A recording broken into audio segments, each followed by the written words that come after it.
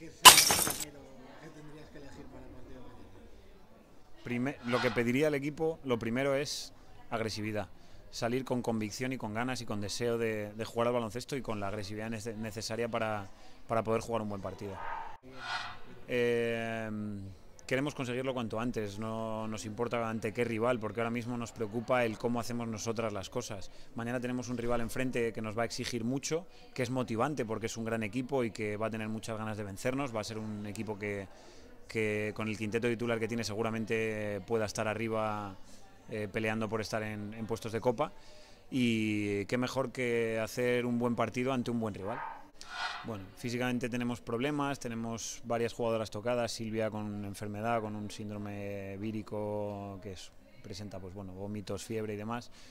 Eh, Vanessa Guiden sigue con problemas de espalda, eh, Ana Lelas tiene problemas en el gemelo.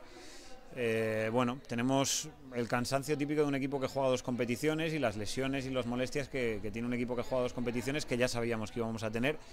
No nos vamos a, poner excusas, no vamos a, a hablar de nada que no sea ir al partido y dar nuestro máximo. A nivel anímico, eh, este es un partido nuevo, esta es una competición diferente y seguir pensando en que en el primer cuarto de Cosiche no estuvimos bien, pues yo creo que sería un error. Se ha trabajado para, para retomar sensaciones y olvidarnos de ese primer cuarto y no volver a cometer los mismos errores y ese es el objetivo, no cometer errores y hacer bien nuestro baloncesto.